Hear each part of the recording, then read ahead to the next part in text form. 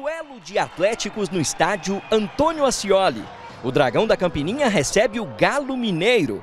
O time de Minas vive situação confortável e tenta se isolar ainda mais na liderança do campeonato. Mais uma vez a torcida esteve presente. Domingo de festa no Castelo do Dragão.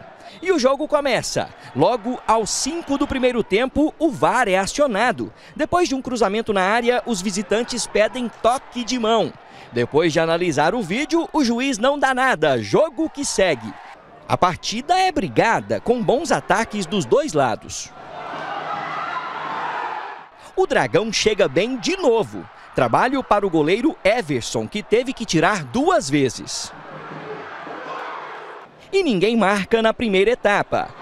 Vem o segundo tempo e o Galo volta colocando pressão cria algumas chances e acaba fazendo. Cruzamento, Nacho bate fechado, lei do ex em ação.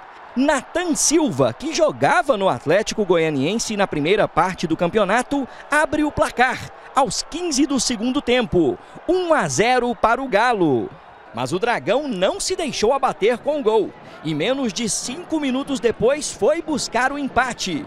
Erro na saída de bola. Marlon Freitas pega e passa para Janderson estufar a rede. Festa no Antônio Ascioli. Tudo igual no placar. Um a um para a alegria da torcida.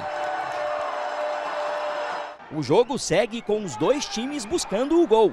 Mas quem acha é o goianiense e é de virada. Virada na Campininha. No escanteio, o zagueiro Oliveira manda para dentro. É gol do Dragão. Para enlouquecer quem tava com saudade de ver o time em campo de perto. É Atlético Goianiense 2. Atlético Mineiro 1. Um. O Dragão não vencia no Acioli desde junho. E o duelo entre Atléticos termina aqui em Campinas. Virada sensacional do Dragão para cima do líder isolado do campeonato. O Atlético Goianiense mostra que não se intimida e continua firme na busca por uma vaga inédita na Libertadores da América. Quem sabe? Vamos jogo a jogo, tudo é possível se jogar no nível que jogamos. Uma entrega, uma disposição, uma vontade de ganhar. Então, acabou o estigma de Acioli e hoje o atleta mostrou isso. Ganhou do melhor time do campeonato, dentro do campo, jogando futebol e mereceu ganhar o jogo.